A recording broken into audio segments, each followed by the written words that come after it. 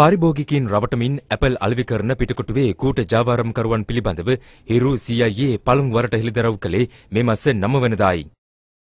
එදින සිට පාරිභෝගිකයින් රවටමින් උපක්‍රමශීලීව එම වංචාව සිදු කරන ආකාරය පිළිබඳව අප ප්‍රවෘත්ති ප්‍රකාශය මගින් හෙළිදරව් කළා. මෙය ඇපල් වලට පමණක් නොව මිදි අලෙවි කිරීමේදී පවා සිදු කරන බවයි හිරු CIA කණ්ඩායම අනාවරණ කළේ. අප මෙම හෙළිදරව්වත් සමග දිගින් දිගටම බලධාරීන්ගෙන් විමසා සිටියේ මෙම කූට වෙළඳුන්ට එරෙහිව නීතිය ක්‍රියාත්මක කරන්නේ කවදාද යන්නයි. එහි ප්‍රතිඵලයක් වශයෙන් අද කොම්පඤ්ඤවීදිය පොලිසිය මගින් පිටකොටුව ප්‍රදේශයේ සිදු කළ වැටලීමකදී වංචනිකව පළතුරු අලෙවි කළ වෙළඳුන් 22 දෙනෙකු අත්අඩංගුවට ගත්තා.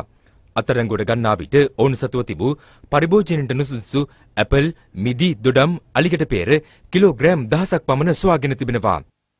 මේ වැටලීම සිදු කරනු ලැබුවේ පසුගියදා හිරු රූපවාහිනී සේවාව මගින් අනාවරණය කරපු ප්‍රවෘත්තියකට අදාළව.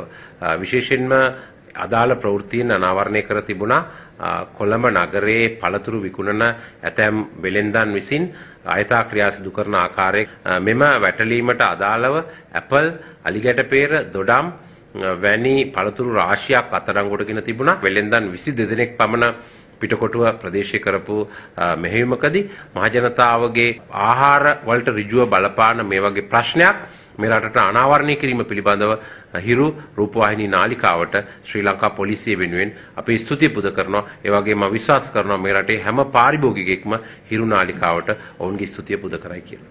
සැම විටම මෙරට ජනතාව වෙනුවෙන් පෙනී සිටිනා හිරු ඉදිරියටත් ජනතාවට වින කරනා ජාවරම් පිළිබඳව රටට හෙළිදරව් කිරීමට සූදානමින්